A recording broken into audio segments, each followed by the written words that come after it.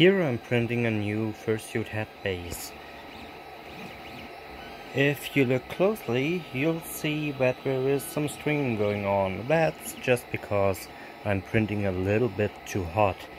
If you look at this temp tower here, I could reduce the amount of stringing a lot if I printed a little bit cooler.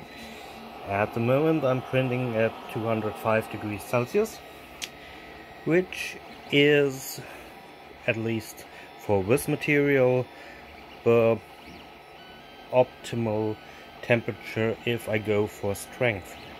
And I want to have a really strong fursuit head that doesn't break easily, so I won't change the temperature right now and all those little whisks here they can be cleaned up easily. I just have to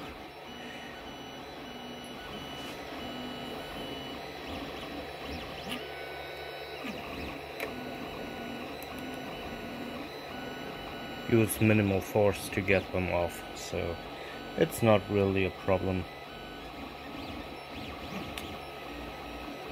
this print will take much longer.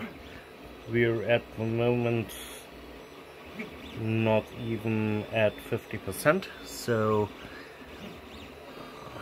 it will take at least 24 hours more.